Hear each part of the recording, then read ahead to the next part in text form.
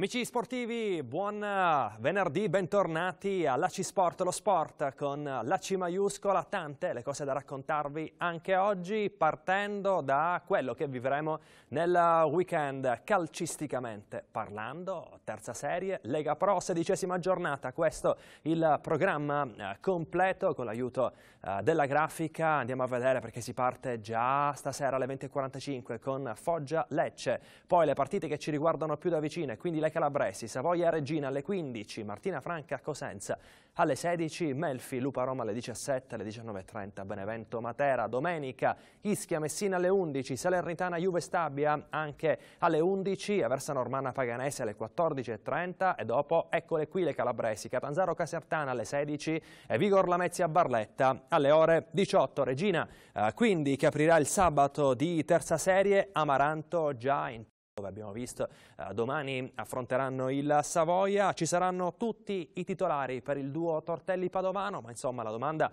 eh, sorge spontanea, basteranno per cambiare marcia? Sullo sfondo una trattativa di cessione avviata e confermata, dietro l'angolo una partita, quella con il Savoia, crocevia di una stagione.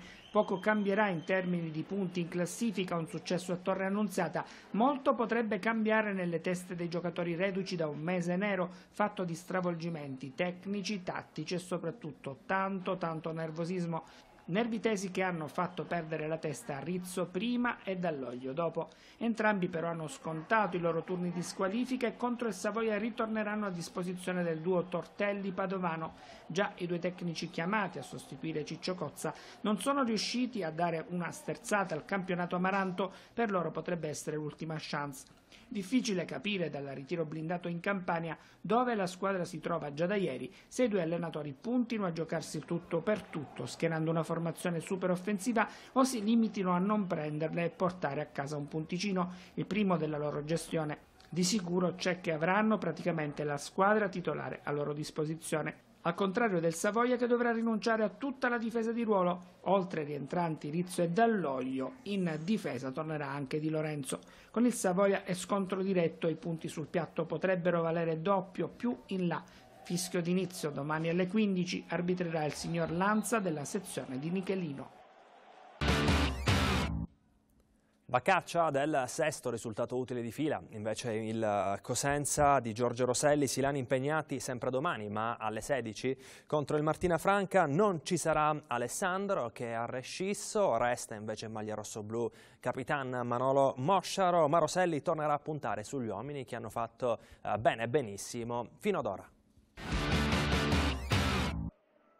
Uno va, l'altro resta. Jonathan Alessandro dice addio al Cosenza, Manolo Mosciaro sottolinea il suo amore per la società silana, per i tifosi cosentini e scaccia via per il momento ogni possibile voce di mercato che lo dava in partenza. Resterà al fianco dei suoi compagni e di Giorgio Roselli, tecnico che al pari di Cappellacci sta usando con il contagocce il capitano rosso-blu.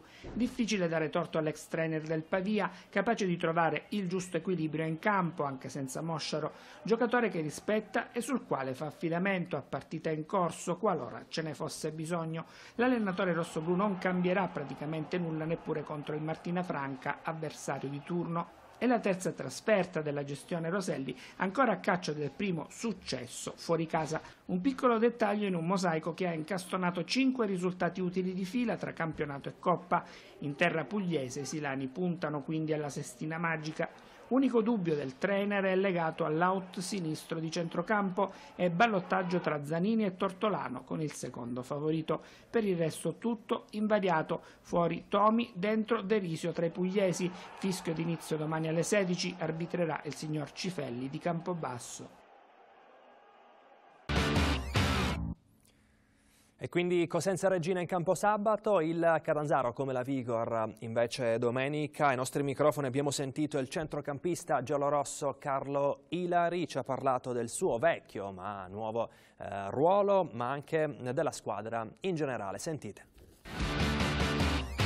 È un ruolo che ho già ricoperto in passato e quindi mi sto riadattando perché ho iniziato, come, come ben detto, da, da trequartista, quasi seconda punta e invece adesso sono tornato un po' più indietro con eh, un ruolo di mezzala e mi sto riadattando perché chiaramente ci sono, ci sono diverse, diverse differenze e quindi insomma ci sto lavorando e mi sto appunto riadattando a questo ruolo. Sicuramente c'è stato un momento di difficoltà, questo è innegabile, abbiamo avuto un momento di difficoltà, un momento in cui i risultati erano altalenanti, un po' troppo. Eh, io credo che sia, sia, sia, solo questo periodo e come, come, può capitare a tutte le squadre nell'arco di un campionato, insomma, magari a noi è stato nel periodo iniziale, e ad altri arriverà nel periodo finale. L'importante è appunto rimetterci sulla, sulla giusta strada e iniziare a, a vincere sin, da, sin, dalla prossima partita. Stiamo lavorando appunto per, per, raggiungere le prime, chiaro che non dobbiamo perdere altri punti, dobbiamo rimanere attaccati e dobbiamo farlo sin dalla prossima partita, insomma, magari guadagnando qualche punticino da, appunto dalle prime.